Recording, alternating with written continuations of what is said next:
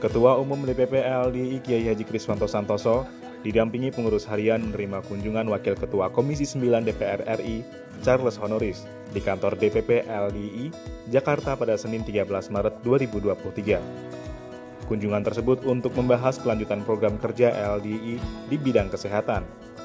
Charles mengatakan, kunjungannya tersebut untuk menangkap aspirasi dari warga DKI Jakarta termasuk LDI terkait pemberdayaan masyarakat. Ia mengapresiasi delapan bidang pengabdian LDI untuk bangsa adalah salah satunya dalam bidang kesehatan. Uh, saya merasa bahwa organisasi LDI ini adalah organisasi yang betul-betul menjalankan prinsip gotong royong karena seluruh kegiatan, seluruh um, program yang sudah dan akan dijalankan itu melibatkan seluruh elemen yang ada di LDI dan kita siap untuk bisa bersama-sama ikut bergotong royong untuk bisa mensukseskan delapan prioritas program LDI. Sementara itu, Kiai Haji Kriswanto Santoso menyambut baik inisiatif Komisi 9 DPR RI tersebut.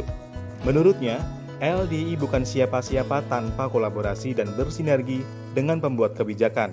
Kami ingin berkontribusi, memberikan manfaat, maka ketika ada kemam, uh, ada potensi otoritas yang membantu untuk itu, ya tentu kami sangat senang sekali.